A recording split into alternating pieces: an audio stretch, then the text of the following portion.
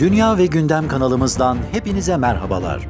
Kanalımıza destek olmak için videoya geçmeden önce abone olmayı ve bildirim zilinizi açmayı unutmayın. Azerbaycan Cumhurbaşkanı Yardımcısı Hikmet Hacıyev, Haber 7 Genel Yayın Yönetmeni Osman Ateşli'ye açıklamalarda bulundu.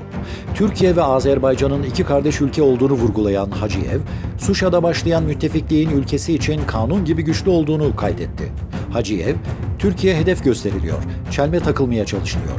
Azerbaycan da aynı şekilde hedef gösteriliyor. Bunun ortak amacı nedir?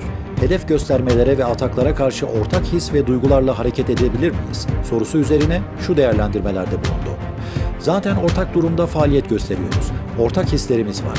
Türkiye ile Azerbaycan bir millet iki devlet olarak sahada da dış politikada da siyasetini yapıyor. Karabağ zaferimiz bunun en güzel bir göstergesi.